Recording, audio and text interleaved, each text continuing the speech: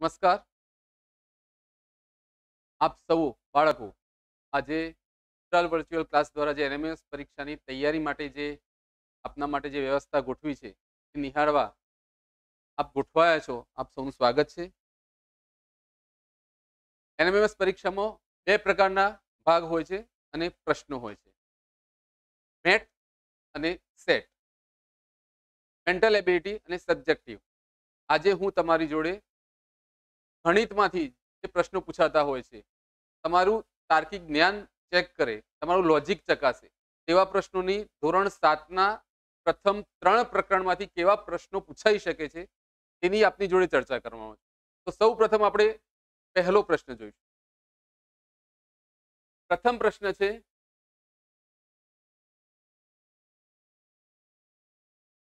Minus છપ્પન plus minus તોતેર સાચો જવાબ શું આવી શકે છે? તો જો કોઈ બાળકને ખ્યાલ હોય, તો તે લાઈવમાં જવાબ આપી શકે છે.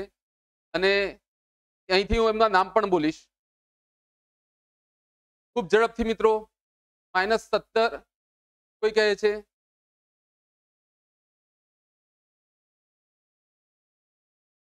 હજુ માઇનસ સત્તર, હજુ જવાબ આવી રહ્યા છે. ઘણા બધા વિદ્યાર્થીઓ જવાબ આપી રહ્યા છે.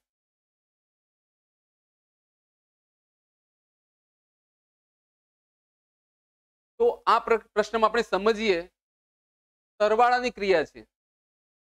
પણ બંને સંખ્યાઓ કેવી છે? ઋણ સંખ્યાઓ છે.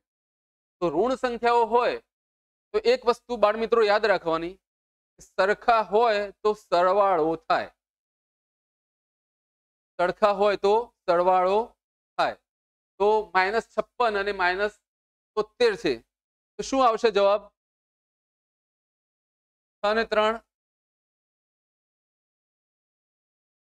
નવ અને સાત ને પાંચ, બાર. અને જે નિશાન હોય તે જ નિશાન મૂકી દેવાનું. તો આપણો જવાબ છે માઇનસ એકસો ઓગણત્રીસ. આગળનો પ્રશ્ન જોઈએ આપણે.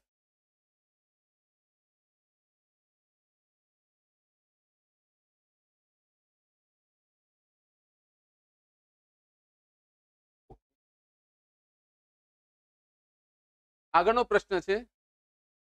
આ ટાઈપના પ્રશ્નો તમારે મેટ વિભાગમાં પણ પૂછાતા હોય છે.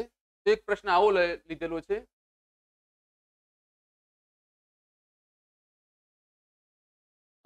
પ્રશ્ન એવો છે કે ઋણ બે, ઋણ ચાર, ઋણ છ, ઋણ આઠ.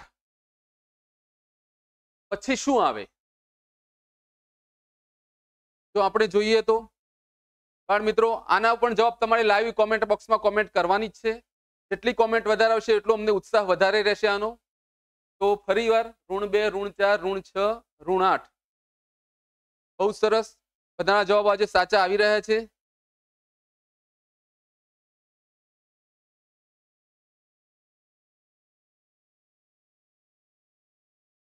રાવલભાઈએ સરસ જવાબ આપ્યો છે. વિશ્વએ જવાબ આપ્યો છે. હર્ષ પટેલે સાચો જવાબ આપ્યો છે. સરસ, બહુ સરસ. આપણે જોઈએ, આ પ્રશ્નમાં આપણને શું કહેવા માંગે છે? તો જે સંખ્યાઓ છે તેનો ઉતરતો ક્રમ છે. કેટલા સ્ટેપ છોડીને છે? બે બે સ્ટેપ છોડીને છે. તો ઋણ બે પછી ઋણ ચાર, ઋણ છ, ઋણ આઠ અને એના પછી બે સ્ટેપ છોડીએ તો શું થશે? ઋણ દસ થશે. એટલે સાચો જવાબ છે આપણો ઋણ દસ.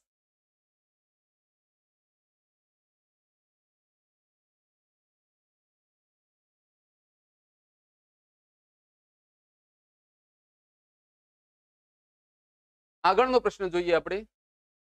એવો જ પ્રશ્ન છે, તો થોડો રિપીટ કર્યો છે. ઋણ અગિયાર, ઋણ આઠ, ઋણ પાંચ અને ઋણ બે. આગળના પ્રશ્નમાં, અને આ પ્રશ્નમાં થોડોક ફરક મૂક્યો છે. સાચા જવાબની અપેક્ષા છે બધા જોડે.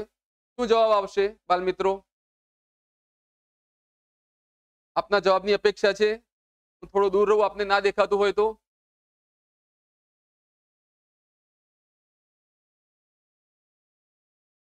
રાજેશ સાચો જવાબ આપ્યો છે રાજેશે ઈસુ- ગઢવીએ સાચો જવાબ આપ્યો છે મૌલિક પટેલે સાચો જવાબ આપ્યો છે વિશાલ સાચો જવાબ છે વિશાલનો ખૂબ સરસ સરસ સરસ રિપ્લાય આવે, આવી રહ્યા છે. તો આપણે ચર્ચા કરીએ, તો આગળના પ્રશ્નમાં ત્રણ- બબ્બે સ્ટેપ નીચું જવાનું હતું, આમાં ત્રણ ત્રણ સ્ટેપ પાછું આવવાનું છે. સંખ્યા રેખા આપ સૌ ભણી ચૂક્યા છો. સંખ્યા રેખાની ડાબી બાજુ ને જમણી બાજુ. તો ડાબી બાજુથી આપણે જમણી બાજુ ત્રણ ત્રણ સ્ટેપ જમણી બાજુ જવાનું છે. તો હવે મનમાં થોડી કલ્પના કરો કે સંખ્યા રેખામાં ઋણ બે પછી આટલા સ્ટેપ કરશું, તો શું આવશે જવાબ? તો આપણે જોઈએ ઋણ બે પછી એક સ્ટેપ જમણી બાજુ જશું, તો ઋણ એક આવશે. ઋણ એક પછી જમણી બાજુ જશું, તો શૂન્ય આવશે. અને પછી જશું તો એક આવશે. તો આપણો સાચો જવાબ છે એક. આપણો સાચો જવાબ છે એક. બરાબર? ખૂબ સરસ બધા સાચા જવાબ આપ્યા. ધન્યવાદ. આગળ જઈએ આપણે.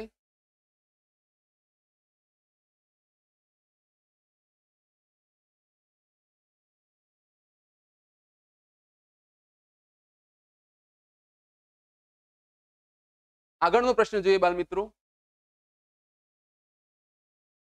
ધોરણ સાતમાં જે પ્રકરણ છે પૂર્ણાંક સંખ્યાઓ, તેમાંથી આ પ્રશ્ન લીધેલો છે. ઋણ ત્રેવીસ વત્તા શૂન્ય. એકદમ ઇઝી છે. પણ ઘણીવાર આવી સ્પર્ધાત્મક પરીક્ષામાં આપણે ઉતાવળના કારણે ખોટો જવાબ આપી દેતા હોઈએ છીએ. તો ઋણ ત્રેવીસ વત્તા શૂન્ય. બાલ મિત્રો કોમેન્ટ કરજો. જે જે જવાબ સાચો આપશે? તેના નામ અહીંથી બોલીશું આપણે? હજુ? પૂર્વીએ સાચો જવાબ આપ્યો છે. તુષારે સાચો જવાબ આપ્યો છે.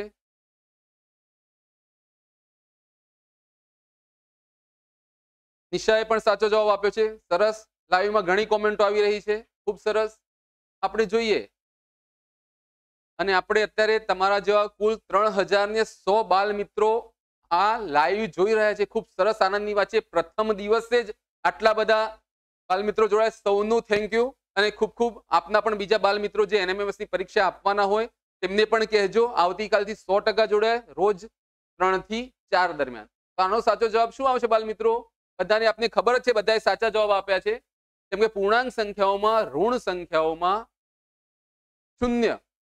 એ તટસ્થતાનો ગુણધર્મ ધરાવે છે, તો એમાં ઉમેરવાથી કશો ફરક પડશે નહીં. તો એનો સાચો જવાબ છે ઋણ ત્રેવીસ.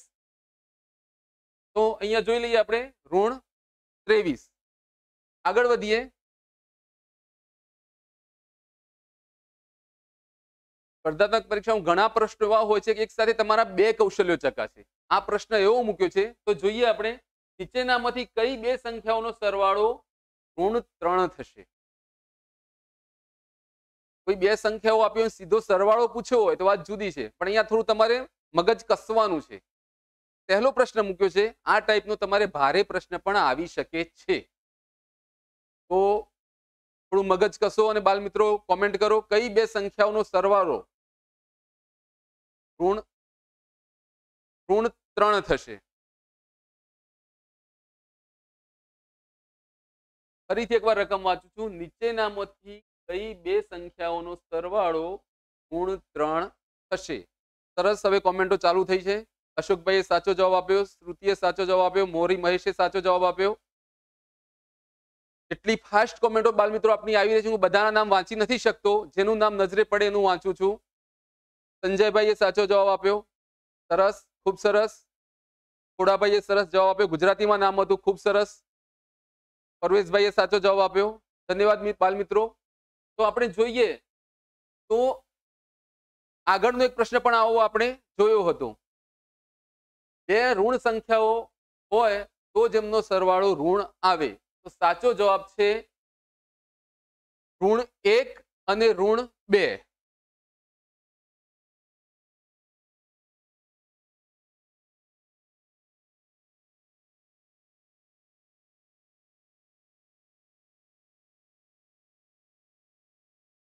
ઓકે. સાચો જવાબ છે આપણો સી. ઋણ એક અને ઋણ બે. કાનજી સોનારાએ છેલ્લે સાચો જવાબ આપ્યો છે. ખૂબ સરસ. નિલંબેને પણ સાચો જવાબ આપ્યો છે. ધન્યવાદ બાલ મિત્રો આગળનું જોઈએ આપણે. ગુણાકારના ગુણધર્મો. આપ જ્યારે સાતમું ધોરણ ભણીને આવે ત્યારે આ પ્રકરણ પણ આપ ભણ્યા હતા. તો એમાંથી આ પ્રશ્ન લીધેલો છે. ઋણ ચાર ગુણ્યા ઋણ એક. પૂર્ણાંક ઋણ પૂર્ણાંક સંખ્યાઓનો કયો ગુણધર્મ લાગુ પડશે એ બાલ મિત્રો વિચારો અને આનો જવાબ આપો. ફરીવાર પ્રશ્ન પૂછું છું. ઋણ ચાર ગુણ્યા ઋણ એક. ઋણ સંખ્યાઓનો જ્યારે ગુણાકાર થાય, ત્યારે શું થાય? હવે તો ખૂબ આનંદની વાત છે, ત્રણ હજાર ત્રણસો સિત્તેર સમથિંગ સાડા ત્રણ હજાર બાળકો સુધી આપણે આજે પહેલા દિવસે પ્રથમ કલાકમાં જ પહોંચ્યા છીએ. અને આટલા જ બાળકો નહીં, આનાથી પણ વધારે રોજ રોજ જોડાવા જોઈએ. તમને આનાથી પણ વધારે મજા આવશે. કદાચ અમારો પ્રથમ દિવસ છે, કદાચ થોડી ઘણી ખામી લાગશે, પણ આનાથી પણ, મારાથી પણ વધારે સારા શિક્ષકો હજુ જોડાવાના છે તમને આની તૈયારી કરાવવા માટે. તમને શિક્ષકે ભણાવ્યું હશે minus minus plus minus minus plus એ ક્યારે લાગુ પડે? ગુણાકારમાં. આ યાદ રાખવાનું. તો ચાર ગુણ્યા એક, ચાર. અને પ્લસ, તો આપણો સાચો જવાબ છે ચાર. આ પ્રશ્નનો સાચો જવાબ છે ચાર. જે જે બાલ મિત્રોએ સાચા જવાબો આપ્યા, તે તેમનો ખૂબ ખૂબ આભાર અને તેમને અભિનંદન. આગળનો પ્રશ્ન જોઈએ આપણે.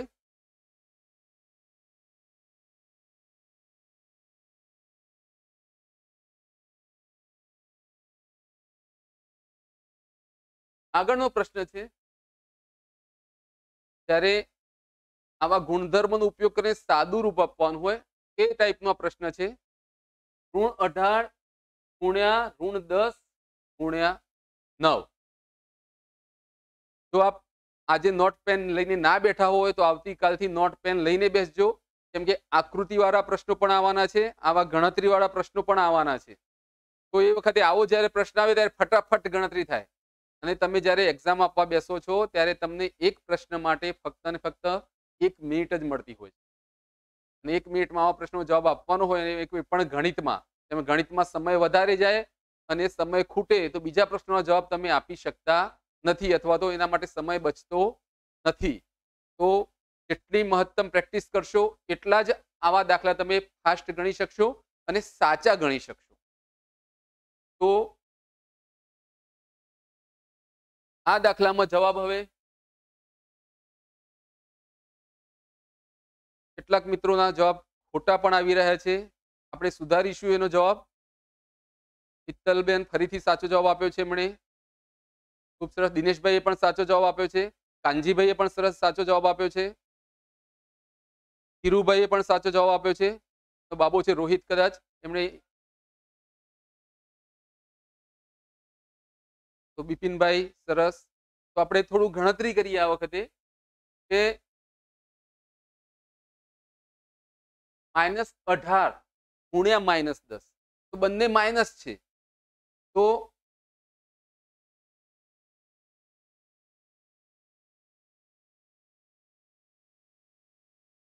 આ બંનેનો જવાબ શું આવશે? અઢારે દાન એકસો એસી અને માઇનસ માઇનસ છે એટલે પ્લસ થઈ જશે. હવે એકસો એસી આવ્યા. પછી એના જોડે ગુણાકાર કોનો છે? નવનો છે. ફરીથી તમને રિપીટ કરું બાળ મિત્રો કે આવી કોઈ પરીક્ષા આપતા હોય ત્યારે આપણા ઘડિયા પાક્કા હોવા જોઈએ. અને અઢાર નો ઘડિયો નવ સુધી બોલીએ તો કેટલા આવે? તો ના વળતો હોય તો અઢારે દાને એકસો એસી અને એમાંથી અઢાર બાદ કરી દો. બાસઠ. અને પાછળ એક શૂન્ય છે. એ ઉમેરી દીધું. આનો જવાબ આપણને મળી ગયો. એક હજાર છસો વીસ. પણ કેવો? પ્લસ. માઇનસ નહીં. આ પણ જોવાનું. એક વિકલ્પ તો એવો છે કે તમને આકર્ષક લાગશે. એને પરીક્ષાની ભાષામાં વિકર્ષક કહેવાય છે. એટલે આપણે સાચા જવાબ તરફ વધારે જવાનું. બરાબર? આગળનો પ્રશ્ન જોઈએ આપણે.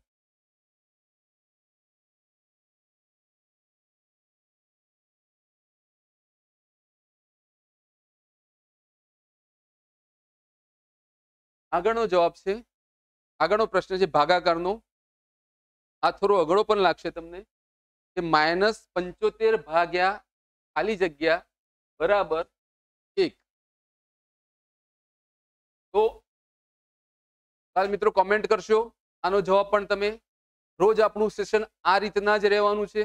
જ્યારે પ્રશ્ન તમારી ડિસ્પ્લે પર દેખાય મોબાઈલ અથવા ટીવી કે લેપટોપ જેના પર પણ આપ બેઠા હોય, ત્યાં આ રીતના પ્રશ્ન દેખાશે. તમને અહીંથી ભણાવનારા માર્ગદર્શન આપનારા શિક્ષક આ જ રીતના પ્રશ્ન કરશે અને તમે સાચો જવાબ આપશો, તો તમારો જવાબ સાચો પડ્યાનો તમને આનંદ થશે. સરસ, પંચોતેર જવાબ આવે છે. ઘણા બધા મિત્રોએ કોમેન્ટ કરી આની. દિયાબેન, તમારી ભૂલ સુધારી દેજો. થોડી ભૂલ હતી. તો આનો સાચો જવાબ છે માઇનસ સોરી, પંચોતેર. ખાલી પંચોતેર. આગળનો પ્રશ્ન જોઈએ. પાંચ સેન્ટીમીટર બરાબર કેટલા કિલોમીટર થાય. અને આવો પ્રશ્ન જ્યારે આવે બાલમિત્રો કોઈ પણ પરીક્ષામાં તમે મોટા થઈને પણ પરીક્ષા આપશો GPSC class one two police મામલતદાર, તલાટી, તો એમાં પણ આવા પ્રશ્નો આવશે. ત્યારે રકમ પહેલા વાંચવાની. રકમમાં સ્પષ્ટ થઈ જવાનું કે ખરેખર આપણને પૂછ્યું છે શું? તો અહીંયા શબ્દ શબ્દ વાંચીએ તો પાંચ સેન્ટીમીટર બરાબર કેટલા કિલોમીટર થાય? હવે સેન્ટીમીટરમાંથી કિલોમીટર ફેરવવાના છે. તો આપણે ડાયરેક્ટ નથી ફેરવવા, પણ સેન્ટીમીટરના મીટર બનાવીએ. બરાબર? તો પાંચ સેન્ટીમીટર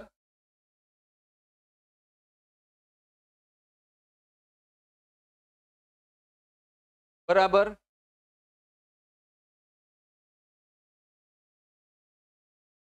ઝીરો પોઈન્ટ પાંચ મીટર. બરાબર? કોમેન્ટ ચાલુ રાખજો. હજુ સાચા જવાબો ઓછા દેખાઈ રહ્યા છે. દિલીપભાઈ, તમારી ભૂલ સુધારજો. ફરીથી કોમેન્ટ કરો દિલીપભાઈ તમે. નિલેશભાઈ, સાચો જવાબ છે.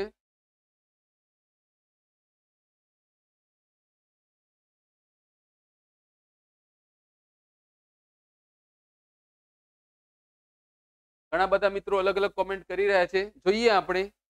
હવે પાંચ સેન્ટીમીટર બરાબર ઝીરો મીટર મેં તમને હિન્ટ આપી હતી. હવે આગળ વધીએ. Zero metre. Zero metre. હવે કિલોમીટર એટલે એક હજાર મીટરે એક કિલોમીટર થાય. તો આપણે છેદમાં એક હજાર મૂકીએ. મિત્રો, આપણે અહીંયા સમજૂતીના સ્ટેપ પર નહીં જઈએ. કેમ કે આપણે પરીક્ષાની તૈયારી કરી એમાંથી સ્ટેપ બાય સ્ટેપ આપણને માર્ક મળવાના નથી. સાચો જવાબ શું? એનો જ માર્ક મળવાનો છે. તો ઝીરો તો લખી દીધા. નીચે કેટલા શૂન્ય હતા? ત્રણ શૂન્ય હતા. તો એ ત્રણ શૂન્ય આની આગળ જશે. એક, બે, ત્રણ. અને પછી દશાંશ આવશે. અને આપણો આ સાચો જવાબ બનશે. હવે તમે જુઓ, ચાર વિકલ્પ સાચો છે આપણો. ડી જવાબ સાચો છે. જે જે મિત્રોએ ડી જવાબ આપ્યો, એમને ખૂબ ખૂબ અભિનંદન. અને જે બાલ મિત્રોએ જવાબ આપવામાં ભૂલ કરી છે, તે આવી બે ત્રણ દાખલા જાતે ગણી અને ભૂલ સુધારે અને પ્રેક્ટિસ કરે. પ્રેક્ટિસથી જ પરફેક્ટ થવાશે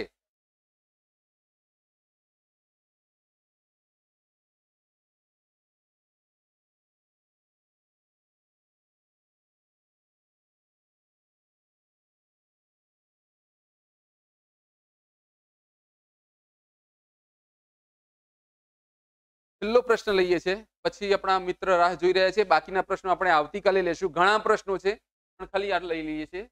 આવો જ એક પ્રશ્ન, આગળનો પ્રશ્ન ભણ્યા તેઓ. સાત રૂપિયા અને સાત પૈસાને દશાંશ અપૂર્ણાંકમાં ફેરવો. પ્રશ્ન સમજજો.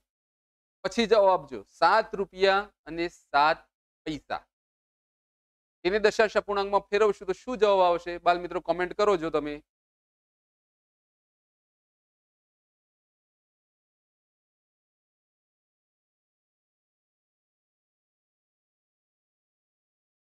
ત્રણ હજાર સાતસો એ પહોંચ્યા છીએ આપણે. આવતીકાલે પાંચ હજાર પ્લસ થવાનું છે આપણે. આપણે આપણા મિત્રોને કહેવાનું છે. અને આપણા સરને પણ કહેવાનું સર, તમે પણ તમારા ગ્રુપમાં શેર કરો. આપણે હવે ગામડે ગામડે વોટ્સએપ ગ્રુપ તો હવે ફળીએ ફળીએ છે એમાં પણ મૂકશું આપણે. અને આટલી સરસ એક્ઝામ છે, જો તમે મેરિટમાં આવશો તો દર મહિને હજાર લેખે ચાર વર્ષના અડતાલીસ હજાર રૂપિયા કોણ આપે છે આપણને? આપણી સરકાર જ આપે છે. તો કોમેન્ટ ચાલુ છે. હજુ ઘણા મિત્રો ભૂલ કરી રહ્યા છે. ઘણા મિત્રોના સાચા જવાબ પણ આવી રહ્યા છે.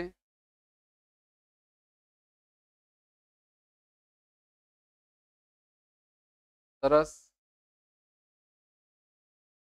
નૈનાબેને સાચો જવાબ આપ્યો છે. સોરી, ખોટો છે. નૈનાબેન જવાબ તમારો ખોટો છે. સુધારજો.